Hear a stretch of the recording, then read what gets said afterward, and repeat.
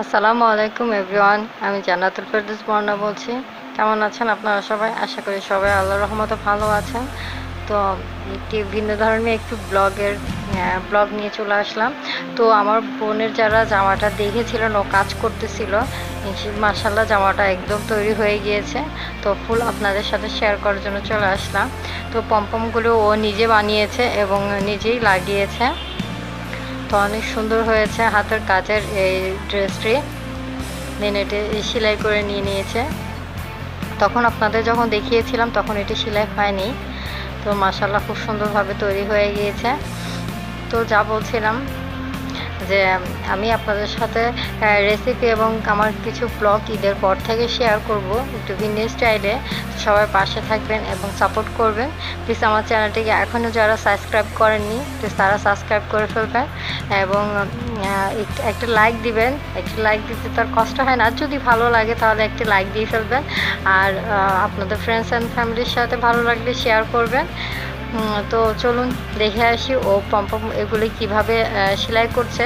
কারণ পম্পমগুলো আগে তৈরি করে ফেলেছে, যার কোনোটা আমি শ্যুট করতে পারিনি।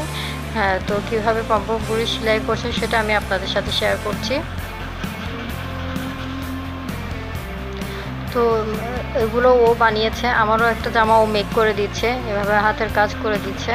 তো ওইখানে যে পম্পম লাগানো হবে, সেটা কীভাবে তৈরি করা হয় সেইটা আমি আপনাদের সাথে দেখাবো এবং শেয়ার করব।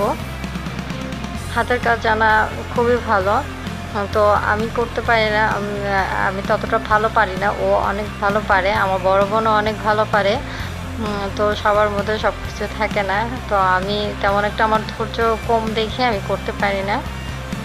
তো মার্শাল্লাহ জামাটি অনেক সুন্দর হয়েছে। ও চিন্তা করেছিল যে কোরবানিদের জন্য মেক করতেছে, আমরা কোরবানিতেও জামা নেই।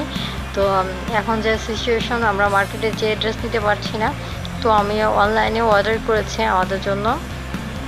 দেন ও হাতে ওজনে এগুলো মেক করে ফেলেছে। মাসাল্লাহ দেখতেই তো পাচ্ছেন কত সুন্দর হয়েছে। আর নিজের কষ্টে নিজের বানানো জামা সেটার খুশি হাজার দামেরও কেনা জামার থেকেও অনেক বেশি মূল্যবান আমার মনে হয়।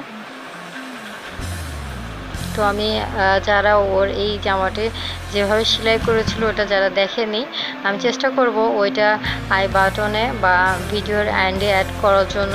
আপনারা চাইলে দেখে নিতে পারেন। তো যারা এরকম কাজ করতে পছন্দ করেন, তাদের জন্য তো অনেক বেশি হেল্পফুল হবে। তো আমি দেখিয়ে দিচ্ছি ও পম্পমটা কীভাবে সেলাই করছে।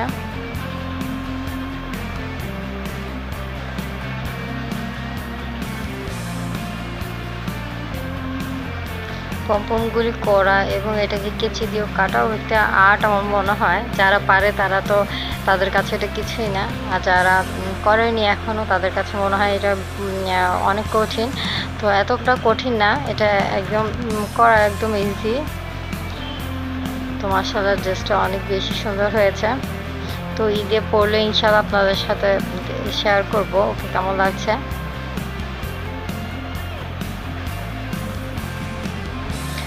তো কোরবান চলে আসতেছে, আমার আম্মুর তো বাটা তো বাটার তো দরকার।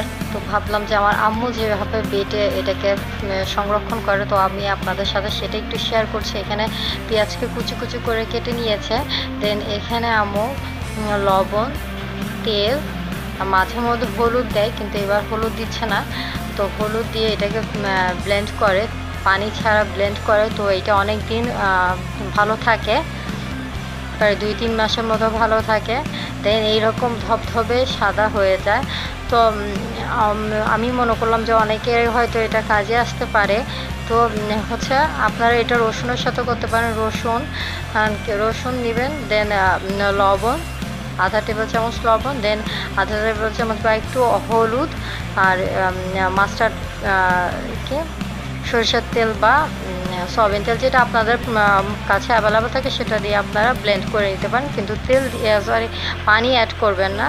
দেন এভাবে আমরা, এটা হচ্ছে পেঁপে পেঁপেকে পেঁপেকে আমরা কেটে নিয়েছি দেন এখানে রসুন, আদা দিয়ে এটাকে ব্লেন্ড করে নিয়েছি। এটা আমি আরও সেমভাবে ব্লেন্ড করে নিয়েছি। দেখেন এটাতে পানির একটু র্যাশ নেই, কারণ আমরা এটাকে তেল আর লবণ দিয়ে ব্লেন্ড করেছি। এটা অনেক দিন পর্যন্ত স্টোর করা যায়।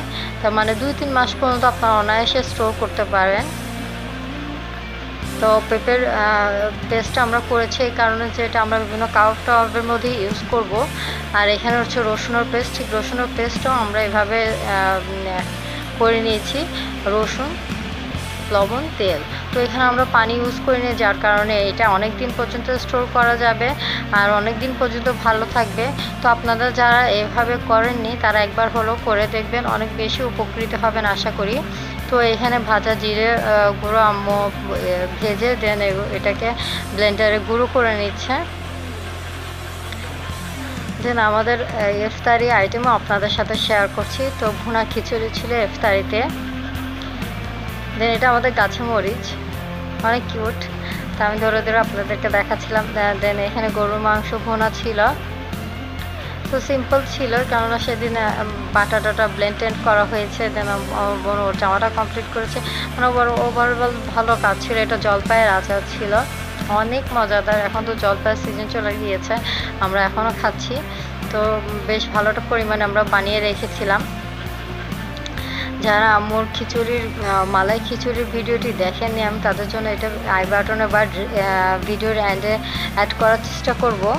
আপনারা চাইলে দেখে নিতে পারেন। দেখেন কতটা কিউট আমাদের গাছের মরিচ, আর হচ্ছে কেনা মরিচ। তো এভাবে আমরা ইফতার করেছিলাম, খিচুড়ি ভুনা, খিচুড়ি, গরুর মাংস ভুনা এবং আচারের সাথে। তো আলহামদুলিল্লাহ অনেক ভালো ইফতার হয়েছিল। আমাদের সবারই পছন্দ হয়েছে খিচুড়ি। তো সেটা হলে তো আর কিছু লাগে না। তো সবাই ভালো থাকবেন, সুস্থ থাকবেন, সবাই সবার জন্য দোয়া করবেন, সবাই নিরাপদে থাকবেন। আবারও কোনো ব্লগে দেখা হয়ে যাবে, কথা হয়ে যাবে। তো ভালো থাকবেন। আসসালামু আলাইকুম, ধন্যবাদ সবাইকে।